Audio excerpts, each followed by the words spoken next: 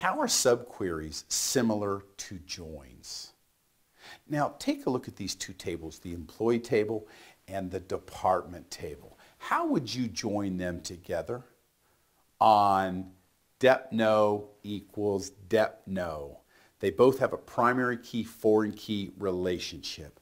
So that's how they're similar in subqueries. I said select everything from the employee table where the depno was in and then in the bottom query, I said select depno from the department table. And that's how they're very similar. When you're going to use a subquery on two different tables, they will have a common key that has the same data type.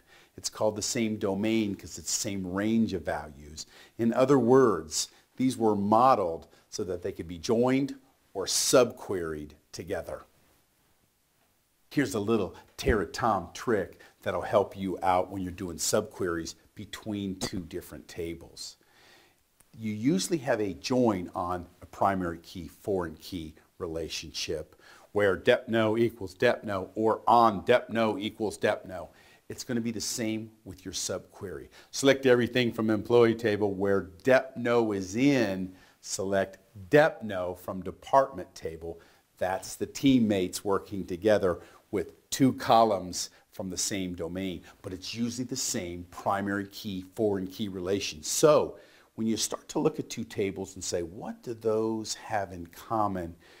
Look at the first column of one of the tables. So you might look at the employee table and go, is it employee number? Look at the department table and go, is it department number? Oh, department numbers over here in the employee table. Those are the common keys that I'm going to do the subquery on.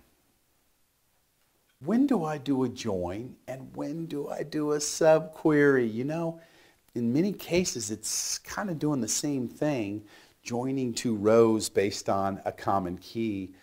Here's your rule of thumb.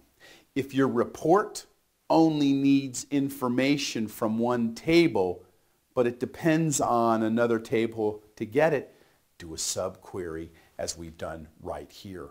But if your report needs some columns from one table in the report, some columns in the other table also on the report, then you're going to do a join. This lesson brought to you by Coffing Data Warehousing. If you have questions, we have answers. Check out coffingdw.com for some great offers on our training books. Unleash the genius within. Hi, this is Tom Coffing. Thank you so much for watching the video.